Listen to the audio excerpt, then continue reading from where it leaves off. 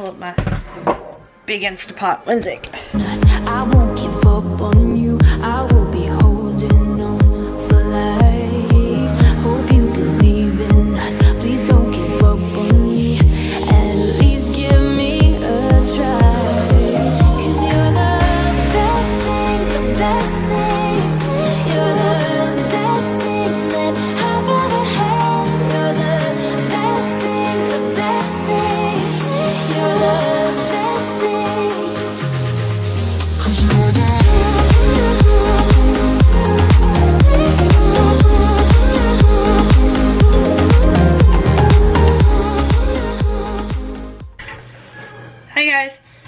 so I am starting our dinner for today. I am making chicken pot pie soup.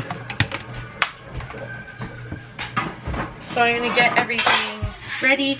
Um, the recipe that I have, give me a second, Matt's calling. Okay, so I was getting all the ingredients out because I'm convinced, if you watched yesterday's vlog, I'm missing a can of tomato paste. I am convinced that the can of tomato paste is with the other can of cream and chicken. It's only one cream and chicken left. Which makes no sense because I bought two, and I know I bought two. Anyways, okay, so I'm gonna start getting on all the stuff ready. Uh, the first thing I need to do is I'm gonna put the sauces in first just so that it kind of just so that the I'm gonna kind of make this my own because well I don't want to make it too thick though. I have two cans. Okay, we're gonna have to figure this out. I don't know what I'm gonna do. Let's put this cream of chicken in. Oh, and for anyone who's wondering, I don't have an actual crock pot. I have my Instapot, which has a slow cook feature on it. So that's what I'm doing. Okay. I'm just gonna throw this whole thing in here and see how it goes. Okay. So I put in a full thing of this, that's 900 milliliters. Alexa, what's 900 milliliters into cups? 900 milliliters is about 3.8 US cups. 3.8. Alexa, what's 240 or 84 milliliters into cups? This is new. Here's something I found on the web. According to trimdownclub.com, fluids and semi-fluids, such as yogurt, ice cream, 8 ounces equals 1 cup or 240 milliliters if you have designated that you are in the US. Fruits and vegetables will appear in cups. Okay, my camera's gonna die, so I'm gonna figure this out. Give me a minute. Okay, so I chopped all the onions. I'm gonna throw them in there.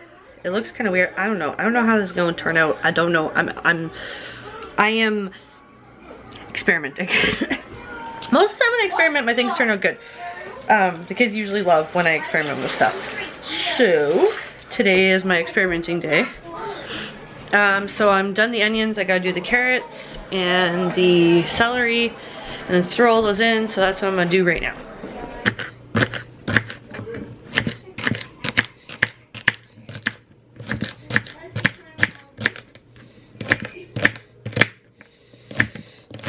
It's baby. It's baby stuff, right? We get baby. We got it and we got it. Hey, it was worth it, right? There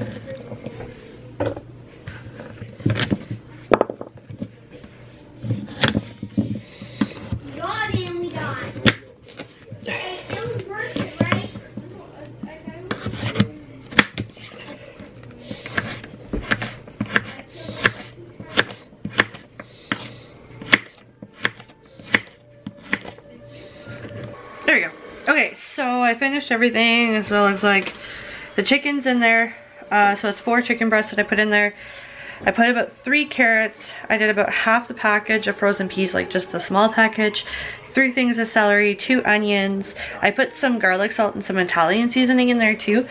Um, so now I'm gonna turn it on. I just gotta pull up my big Instapot. One sec. Turning this on. Okay, so slow cook. It said for eight hours. We're gonna see. Actually, we're gonna do it for six. Because what time is it? Uh, five. Five hours. We're going to do this on, how do I do this on hot?